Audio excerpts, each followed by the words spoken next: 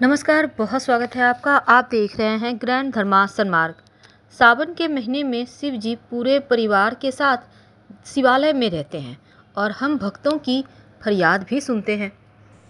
सावन का महीना, जिसका हम पूरे साल इंतज़ार करते थे, आ चुका है और हम भगवान शिव को मनाने में लगेंगे। आप भी लगे हैं। तो ऐसे में शिव जी की पूजा कैसे करें? कैसे उनको प्रसन्न करें? कौन सा पुष्प सबसे ज़्यादा उन्हें प्रिय है? तमाम बातें आज आपके साथ साझा करेंगे, अंत तक बने रहें और ये भी जानेंगे कि हरी चूड़ियों का रहस्य क्या है, कहाँ रख दें और कैसे माँ पार्वती का भी आशीर्वाद हमें मिलता रहे। देखिए, अगर हम पुष्प की बात करें तो शिव जी को सबसे ज़्यादा जो प्रिय पुष्प है, वो है आक का पुष्प। तो आप आक का पुष्प जो होता है शिव जी को अगर आंकड़े का, सफ़ेद आंकड़े का पुष्प से उनका पूजन करें तो मोक्ष की प्राप्ति होती है। अगर आप, जो चमेली होता है, बेला पुष्प होता है, अगर उससे आप शिव जी को अभिषेक करें तो वाहन का सुख मिलता है, अपना वाहन की प्राप्ति होती है। और अगर आप बेला पुष्प अर्पित करते हैं तो सुंदर और गुणवान पत्नी मिलती है। समी का पुष्प अगर मिल जाए तो बड़े बहुत अच्छा।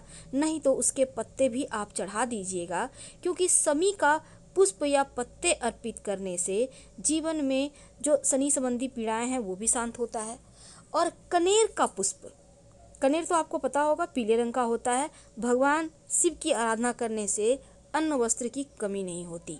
धतूरे का पुष्प धतूरे के पुष्प से अगर आप शिव जी को अर्पित करते हैं तो पुत्र संतान की प्राप्ति होती है और आज्ञाकारी पुत्र होता है।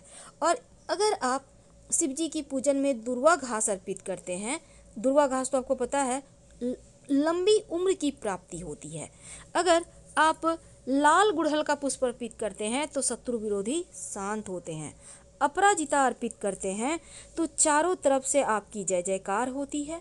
और अगर आप, चूँकि समी का पुष्प अर्पित करने से मोक्ष की प्राप्ति होती है, लेकिन दूसरी तरफ़ अगर आप गेंदे का पुष्प अर्पित करें तो शुक्र बेहतर होता है। और अलसी अलसी का पुष्प अर्पित करने से भगवान श्री हरि विष्णु का सबसे प्रिय आप हो जाते हैं। और अगर कमल का पुष्प अर्पित करते हैं तो जीवन में और कुछ अर्पित करने की आवश्यकता ही नहीं पड़ती। इसलिए पूरे सावन में एक दिन ज़रूर अर्पित कीजिएगा।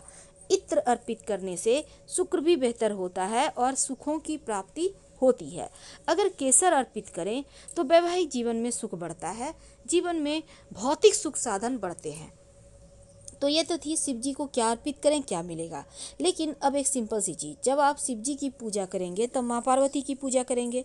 जब माँ पार्वती की पूजा करेंगे तो उन्हें सिंदूर ज़रूर लगाइए। आप लड़की हैं तो भी आप लगा सकती हैं और लगाने के बाद आप उसी उंगली में लगा हुआ सिंदूर से खुद को लगाइए। महिला है तो मांग भरेंगी, लड़की हैं तो अपने ललाट पर लगाएँगी। और हरी चूड़ियाँ माँ पार्वती को भेंट करें छः आठ, जो भी आपके पास है, जोड़े में। और फिर आप सिंदूर भी प्रसाद के रूप में लगाइए और हरी चूड़ियाँ भी पहन